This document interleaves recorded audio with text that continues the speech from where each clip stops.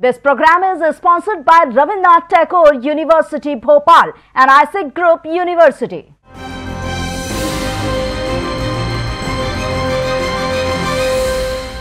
नमस्कार, मैं अनुराग। आप देख रहे हैं बेबाक बात, आज बात कांग्रेस की। कांग्रेस एक और भारत जोड़ो यात्रा निकालने जा रही है। वहीं कांग्रेस के बड़े नेता कांग्रेस छोड़ो की बात कर रहे हैं। कांग्रेस के गुलाम नबी आज़ाद अब कांग्रेस से आज़ाद हो गए हैं। मतलब दिग्गज नेता गुलाम नबी आज़ाद ने कांग्रेस से आज़ादी ले ली है। कांग्रेस छोड़ते वक्त गुलाम नबी आज़ाद ने पार्टी सुप्रीमो सोनिया गांधी को एक पत्र लिखा है। इसमें आज़ाद ने कहा, आपके राहुल गांधी को उपाध्यक्ष बनाए जाने के बाद कांग्रेस बर्बाद हो गई और चापलूस पार्टी चलाने लगी। गुलाम नबी आज़ाद ने कांग्रेस छोड़ने का मर्म इन पंक्तियों में बयान कर दिया। गुलाम नबी आज़ाद ने शुक्रवार को कांग्रेस के सभी पदों और सदस्यता से इस्तीफा दे दिया। इसके लिए उन्होंने पार्टी की अंतरिम अध्यक्ष सोनिया गांधी को इस्तीफे की पाँच पन्नों वाली चिट्ठी भेजी है। इस्तीफे के इन पाँच पन्नों में सात किरदार और चार हालात हैं। गुलाम नबी आज़ाद का सबसे सख्त बयान राहुल को लेकर है। आज़ाद ने राहुल गांधी को अपरिपक्व नेता बताते हुए उन्हें कांग्रेस की बर्बादी की मुख्य वजह बताया और अपने कांग्रेस को लिखे आखिरी खत में बारी बारी से चापलूस किरदारों और कांग्रेस की हालत को बयान किया है। अपने इस्तीफे में गुलाम नबी आज़ाद ने कहा कि राहुल गांधी ने पार्टी में आंतरिक लोकतंत्र को पूरी तरह से खत्म कर दिया। आज़ाद ने पत्र में कहा कि बीते कुछ सालों में राहुल गांधी ने सीनियर लीडर को दरकिनार कर दिया। कांग्रेस में इन दिनों राहुल गांधी और सोनिया गांधी की दो टीमें काम कर रही हैं। आज़ाद ने सोनिया गांधी को लेकर लिखा है कि बेशक कांग्रेस अध्यक्ष के तौर पर आपने यूपीए वन और यूपीए टू के गठन में शानदार काम किया। इस सफलता का सबसे बड़ा कारण यह था कि आपने अध्यक्ष के तौर पर बुद्धिमान सलाहकारों और वरिष्ठ नेताओं के फैसले पर भरोसा किया, उन्हें ताकत दी और उनका ख्याल रखा। दुर्भाग्य से राजनीति में राहुल गांधी की एंट्री और खासतौर पर जब आपने जनवरी 2013 में उन्हें उपाध्यक्ष बनाया, तब राहुल ने पार्टी में चली आ रही सलाह के मैकेनिज्म को तबाह कर दिया। सभी वरिष्ठ और अनुभवी नेताओं को साइडलाइन कर दिया गया और गैर अनुभवी चापलूसों का नया ग्रुप बन गया, जो पार्टी चलाने लगा। आज़ाद ने कहा, यूपीए सरकार की अखंडता को तबाह करने वाला रिमोट कंट्रोल सिस्टम अब कांग्रेस पर लागू हो गया है। आप बस नाम के लिए अध्यक्ष पद पर बैठी हैं सभी ज़रूरी फैसले राहुल गांधी ले रहे हैं। उससे भी बदतर बात यह है कि उनके सुरक्षाकर्मी और पीए तक कांग्रेस के बारे में फैसले कर रहे हैं। आज़ाद की बात में दम है। राहुल गांधी के उपाध्यक्ष बनाए जाने के बाद 2014 और 2021 के बीच हुए चुनाव के दौरान 222 चुनावी उम्मीदवारों ने कांग्रेस पार्टी छोड़ी, जबकि 177 सांसदों और विधायकों ने पार्टी को अलविदा कहा। इसके अलावा 2016 और 2020 के बीच दल बदल करने वाले लगभग 45 फ़ीसदी कांग्रेस विधायक अकेले बीजेपी में शामिल हो गए। 2014 में डागाबाती पुंदेश्वरी, बीरेन सिंह, जगदम्बिका पाल, जी के वासन सत्यपाल महाराज ने कांग्रेस छोड़ी।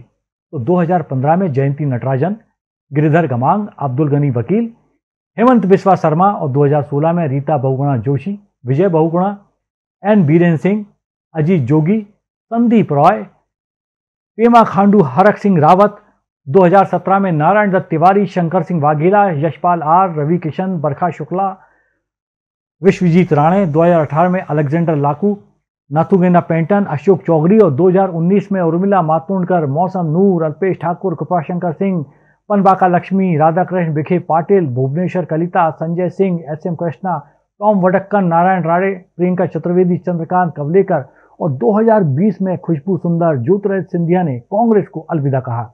इसके बाद भी कांग्रेस और राहुल गांधी की टीम ने इससे कोई सबक नहीं लिया।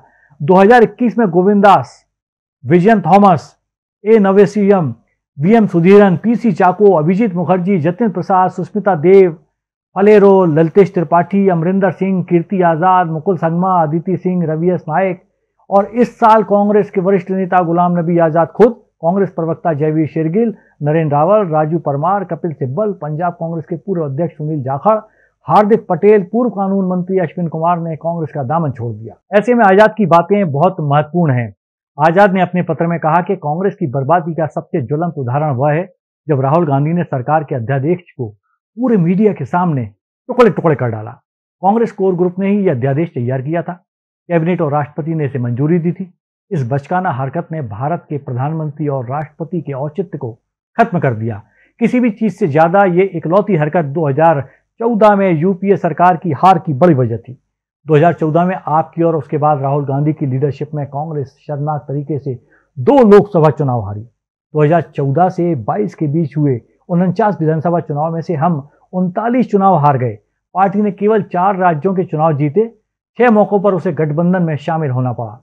अभी कांग्रेस केवल दो राज्यों में शासन कर रही है और दो राज्यों में गठबंधन में उसकी थोड़ी सी भूमिका है। हार के बाद राहुल गांधी ने झुंझलाहट में अध्यक्ष पद छोड़ दिया। उससे पहले उन्होंने कांग्रेस वर्किंग कमेटी में हर सीनियर नेता का अपमान किया, जिसने पार्टी के लिए अपनी ज़िंदगी दी। तब आप अंतरिम अध्यक्ष थी। आज़ाद ने कांग्रेस छोड़ने पर भाजपा ने कहा, ये तो होना ही था। गुलाम नबी आज़ाद पार्टी से अलग उस जी तेईस समूह का भी हिस्सा थे, जो पार्टी में कई बड़े बदलाव की पैरवी करता रहा है। उन तमाम गतिविधियों के बीच इस इस्तीफे ने गुलाम नबी आज़ाद और उनके कांग्रेस के साथ रिश्तों पर सवाल खड़ा कर दिया। केंद्र ने इसी साल गुलाम नबी आज़ाद को पद्म, भूषण सम्मान से नवाजा था। उसके बाद आज़ाद और भाजपा के बीच एक नई केमिस्ट्री तलाश की जा रही थी। लगता है अब आज़ाद हैं। आज़ादी से वे अपने राजनीतिक फैसले करेंगे। आज़ाद लगातार चार दशक तक कांग्रेस वर्किंग कमेटी के सदस्य रहे। पैंतीस साल तक देश के हर राज्य और केंद्र शासित प्रदेश में पार्टी के वे जनरल सेक्रेटरी इंचार्ज भी रहे। जिन राज्यों में आज़ाद प्रभारी रहे, उनमें से नब्बे फ़ीसदी में कांग्रेस को विजय मिली। आज़ाद कई दिनों से हाईकमान के फैसलों से नाराज़ थे। इसी महीने 16 अगस्त को कांग्रेस ने आज़ाद को जम्मू कश्मीर प्रदेश कैंपेन कमेटी का अध्यक्ष बनाया था, लेकिन आज़ाद ने अध्यक्ष बनाए जाने के दो घंटे बाद ही पद से इस्तीफा दे दिया था। आज़ाद ने कहा था कि ये मेरा डिमोशन है। तिहत्तर साल के आज़ाद अपनी सियासत के आखिरी पड़ाव पर फिर प्रदेश कांग्रेस की कमान संभालना चाह रहे थे। लेकिन केंद्रीय नेतृत्व ने उनकी बजाय तैतालीस साल के विकार रसूल वानी को ये ज़िम्मेदारी दे दी। वानी गुलाम नबी आज़ाद के बेहद करीबी हैं। कहा जा रहा है कि कांग्रेस नेतृत्व आज़ाद के करीबी नेताओं को तोड़ रहा है और आज़ाद और उनके बीच में गलत फहमियाँ पैदा कर रहा है। यही बात आज़ाद को पसंद नहीं आई। इंदिरा गांधी और राजीव गांधी के करीबी रहे गुलाम नबी आज़ाद ने अचानक कांग्रेस पार्टी से इस्तीफा देकर सभी को चौंका दिया तो कांग्रेसियों ने भी आज़ाद के खिलाफ मोर्चा खोल दिया है। गुलाम नबी आज़ाद एक पढ़े लिखे राजनेता है। वे अब जम्मू कश्मीर में राजनीति करेंगे। 1973 में गुलाम नबी आज़ाद ने ब्लॉक कांग्रेस कमेटी के सचिव के रूप में अपना राजनीतिक करियर शुरू किया था और धीरे धीरे राजनीति में अपनी जगह बनाते गए। फूलों के शौकीन गुलाम नबी आज़ाद ने कश्मीर में सबसे बड़े ट्यूलिप गार्डन का निर्माण भी करवाया। गुलाम नबी आज़ाद एक बेहतरीन शायर भी हैं। बोल किलब आज़ाद हैं तेरे। बोल जुबा अब तक है तेरी, बोल की सच ज़िंदा है अब तक, बोल जो कुछ कहना है कह ले। आज़ाद के आज़ाद लबों ने कांग्रेस की सच्चाई सबके सामने ला दी है। अब सवाल कांग्रेस और उन गांधी के चापलूस नेताओं का है, जो कांग्रेस को लगातार रसातल में ले जा रहे हैं। सवाल ये भी है कि क्या कांग्रेस धीरे धीरे खत्म हो जाएगी या फिर अपना दम दिखाएगी। आज बस इतना ही, देखते रहिए दखल न्यूज़। नमस्कार।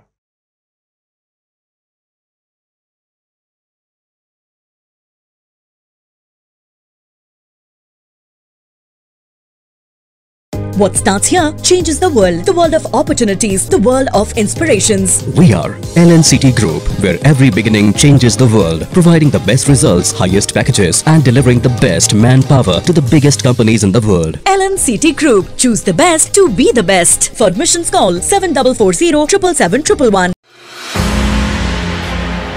Rabindranath Tagore University, the pioneers in skill development, with focus on creating industry-ready professionals.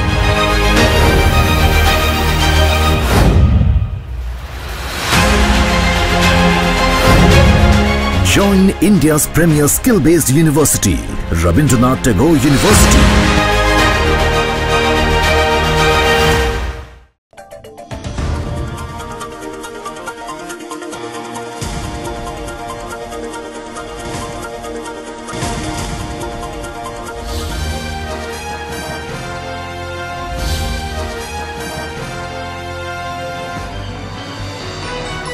देख रहे हैं दखल न्यूज़।